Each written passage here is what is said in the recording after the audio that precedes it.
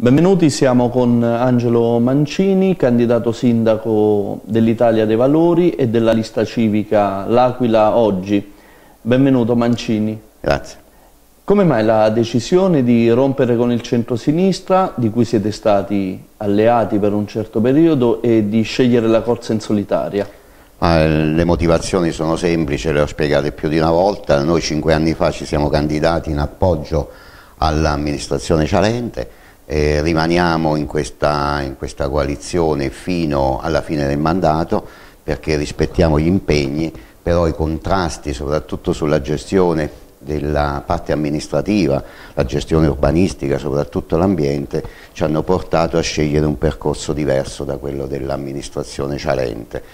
che abbiamo verificato in questi anni, non eh, siamo scesi mai a compromessi, si è data una continuità incredibile all'amministrazione precedente a quella tempesta e quindi per questo questa corsa solitaria io non ho partecipato alle primarie perché sicuramente se le avessi vinte sarei rimasto all'interno di questa coalizione che non riesce a governare la città, ad amministrare la città, se le avessi perse sarei rimasto lì dentro, quindi la motivazione è molto chiara rispetto ai patti di consigliatura, però alla fine della consigliatura noi già avevamo previsto un percorso diverso.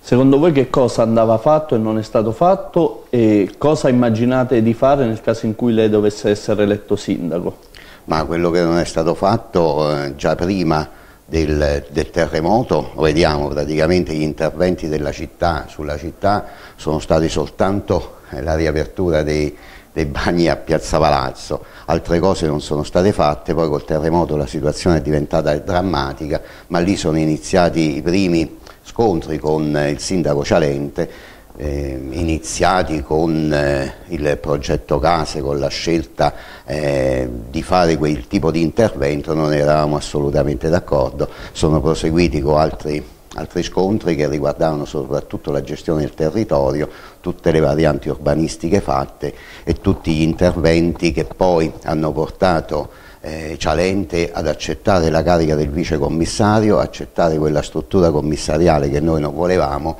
e quindi far parte di quella struttura che oggi lui critica, che però lui stesso ha voluto e ne ha fatto parte. Quindi crediamo che questa struttura abbia rallentato la ricostruzione della città, eh, pensiamo che debba questa filiera Fintecna di Luis e Cineas debba andare via il prima possibile e passare la mano al comune che dovrà organizzarsi però per costruire una filiera sua con tecnici locali anche se con un sistema di controllo importante. Questo per la ricostruzione del centro storico dell'Aquila e delle frazioni secondo me è fondamentale, non si è riusciti con questa amministrazione a correggere anche a far correggere la convenzione tra commissario e struttura e filiera, per cui le pratiche sono lì ferme ogni cittadino non sa che fine abbia fatto la propria pratica e soprattutto non si dà il via alla ricostruzione pesante della città.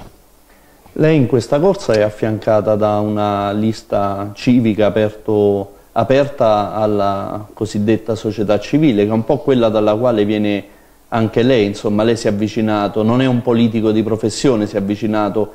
relativamente tardi alla politica. Sì, io ho iniziato nel 2002 ma l'azione è sempre stata solamente amministrativa,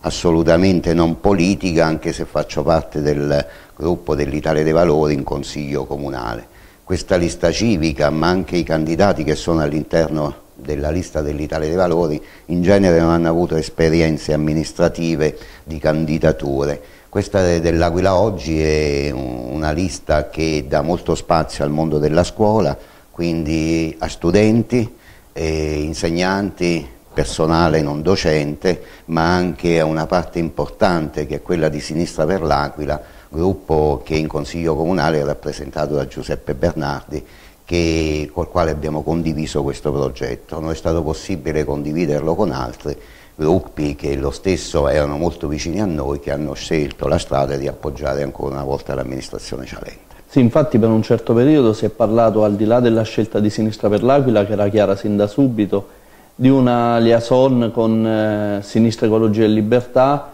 eh, o con Rifondazione Comunista che poi non c'è stata. a fronte di una sinistra che eh, non è riuscita a far diventare sua alleata, però si parla di una simpatia eh, corrisposta, sembra, fra lei e Giorgio De Matteis.